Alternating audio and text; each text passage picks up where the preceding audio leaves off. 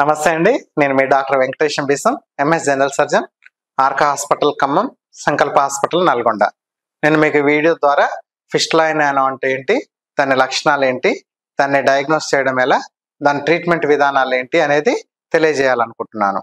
ఫిస్టులైన్ యానో అంటే ఏంటంటే మోషన్ పోయే మార్గానికి పక్కల చిన్న చీమ్ గడ్డ తయారై కంటిన్యూస్గా చీమ్ కారుతూ ఉంటుంది. అంటే మోషన్ పోయే మార్గానికి పక్కనున్న స్కిన్కి కనెక్షన్ని కి కనెక్షన్ అంటారు. ఎవరికి ఎక్కువగా వస్తుంది? ఇది ఎక్కువసేపు కూర్చొని ఉండే వాళ్ళకి మెయిన్ డ్రైవింగ్ ఫీల్డ్లో ఉండే వాళ్ళకి కానీ సాఫ్ట్వేర్ ఇంజనీర్లకు కానీ ఎక్కువసేపు కూర్చొని ఉండే వాళ్ళకి ఈ ఫిస్టులైన్ నానో వస్తూ ఉంటుంది. ఈ ఫిస్టులైన్ నానోని డయాగ్నోస్ చేయడం ఎలా? మామూలుగా డాక్టర్ని కన్సల్ట్ అయినట్లయితే డాక్టర్ ఎగ్జామినేషన్ ద్వారా ఈ ఫిస్టులాని డయాగ్నోస్ చేస్తారు.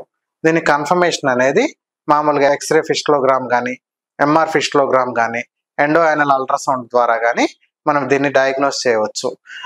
మామూలుగా వీటిలో ఏది బెస్ట్ అంటే ఎంఆర్ ఫిస్ట్లోగ్రామ్లో ఏమైనా ఎక్స్ట్రా ట్రాక్స్ ఉన్నా ఎక్కువ అబ్నార్మల్ కనెక్షన్స్ ఏమైనా ఉన్నా కూడా మనకు క్లియర్గా తెలిసిపోతూ ఉంటుంది.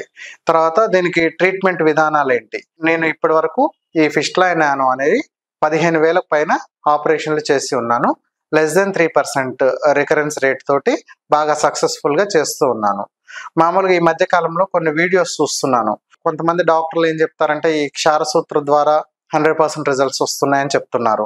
కొంతమంది లేజర్ సర్జన్స్ ఏమంటారంటే లేజర్ ద్వారా హండ్రెడ్ పర్సెంట్ రిజల్ట్స్ వస్తున్నాయని చెప్తున్నారు. నేను చెప్పదలుచుకున్నది ఏంటంటే ఏ ఆపరేషన్ ద్వారా హండ్రెడ్ పర్సెంట్ రిజల్ట్స్ అనేవి ఉండవు. ఆ ఆపరేషన్ అనేది ఆ ఫిస్ట్ల రకాన్ని బట్టి పేషెంట్ని బట్టి ఆపరేషన్ అనేది డిసైడ్ చేస్తే రిజల్ట్స్ అనేవి బాగా ఉంటాయి. ఈ క్షారసూత్ర అంటే ఏంటంటే మామూలుగా ఒక తాడు ఆ లోపల నుంచి బయటికి ఎక్స్టర్నల్ ఓపెనింగ్ నుంచి ఇంటర్నల్ ఓపెనింగ్ వరకు ఒక తాడు వేస్తూ ఉంటారు. రెండు వారాలకు ఒకసారి ఆ తాడు వారానికి ఒకసారి రెండు వారాలకు ఒకసారి మార్చడం జరుగుతూ ఉంటుంది. ఇది చాలా పెయిన్ఫుల్ ప్రొసీజర్ కానీ సక్సెస్ రేట్ అనేది బాగా ఎక్కువగా ఉంటుంది. నెక్స్ట్ లేజర్ ఆపరేషన్లు రెండు వేల పదమూడు సంవత్సరంలో నేను జర్మనీ వెళ్ళి అక్కడ లేజర్ ఆపరేషన్లో ట్రైనింగ్ తీసుకొని వచ్చి మన ఖమ్మంలో రెండు వేల పదమూడు పద్నాలుగు ప్రాంతం నుంచి ఖమ్మం నల్గొండలో ఈ ఆపరేషన్లు చేస్తూ ఉన్నాను. ఈ లేజర్ ఆపరేషన్ల వల్ల అడ్వాంటేజెస్ ఏంటి? ఈ ఎక్స్టర్నల్ ఓపెనింగ్ నుంచి లేజర్ ఫైబర్ లోపలికి వెళ్ళి ఆ లోపల ఉన్న ఇంటర్నల్ ఓపెనింగ్ క్లోజ్ చేసి ఆ లేజర్ ట్రాక్ అంతా బర్న్ చేయడం జరుగుతూ ఉంటుంది. ఈ లేజర్ ఆపరేషన్ వల్ల తక్కువ సమయంలో రికవరీ ఉంటుంది రక్తస్రావం తక్కువగా ఉంటుంది నొప్పి తక్కువగా ఉంటుంది సో రికవరీ రేటు బాగా ఉంటుంది. అట్లా ఈ మధ్య కాలంలో వ్యాఫ్ట్ అని ఉంది. వ్యాఫ్ట్ అంటే video assisted anal fistula treatment అంటారు. ఒక స్కోప్ ద్వారా ఆ ఓపెనింగ్ నుంచి లోపల వరకు వెళ్ళి ఎక్కడి వరకు ఉంటుందో అక్కడ ఆ ట్రాక్ని క్లోజ్ చేసి ఆ ట్రాక్ని అంతా బర్న్ చేయడం జరుగుతూ ఉంటుంది. ఇది కూడా మంచి ఆపరేషన్. నొప్పి తక్కువగా ఉంటుంది తొందరగా కోలుకోవడం కుదురుతూ ఉంటుంది. తర్వాత ఫిస్ట్లెక్టమీ అండ్ స్వింక్టర్ రిపేర్ అంటారు. అంటే మొత్తం ట్రాక్ని అంతా ఎక్సర్సైజ్ చేసి అవసరమైతే ఆ స్పింక్టర్స్ని రిపేర్ చేయడం జరుగుతూ ఉంటుంది. ఈ మధ్య కాలంలో కొంచెం లిఫ్ట్ అని తర్వాత మ్యూకస్ ప్యాచ్ అని కొత్త రకమైన ఆపరేషన్లు వచ్చినాయి. సో ఆపరేషన్ అనేది పేషెంట్ కండిషన్ బట్టి చేస్తే రికరెన్స్ రేట్ అనేది తక్కువగా ఉంటుంది. తర్వాత ఆపరేషన్ అయిన తర్వాత ఏ జాగ్రత్తలు తీసుకోవాలి?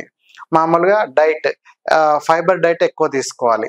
దోసకాయ సొరకాయ బీరకాయ ఆకుకూరలు తర్వాత పండ్లు ఇటువంటి ఎక్కువగా తీసుకోవాల్సి ఉంటుంది. వాటర్ ఎక్కువ తీసుకోవాలి లిక్విడ్స్ ఎక్కువ తీసుకోవాల్సి ఉంటుంది. నాలుగు నుంచి ఐదు లీటర్ల వాటర్ తీసుకోవాల్సి ఉంటుంది. దాంతోపాటు రెగ్యులర్గా ఎక్సర్సైజ్ చేయడము రెగ్యులర్గా సీడ్స్ బాత్ అంటే ఎన్నిసార్లు మోషన్ పోయినా అన్నిసార్లు కొంచెం గోరువెచ్చని నీళ్ళలో బెటాడిన్ కానీ డెటాల్ కానీ వేసి కూర్చోవడం అటువంటి చేయాల్సి ఉంటుంది. రెగ్యులర్గా ఫాలోఅప్లో ఉండాలి. యాంటీబయాటిక్స్ రెగ్యులర్గా వాడితే రికరెన్స్ రేట్ అనేది తక్కువగా ఉంటుంది. ఇంకా ఏదైనా ఆపరేషన్ సంబంధించి ఏమైనా అనుమానాలు ఉన్నా ఏ డౌట్స్ ఉన్నా నాకు నా పర్సనల్ నెంబర్కి కాల్ చేయండి. Thank you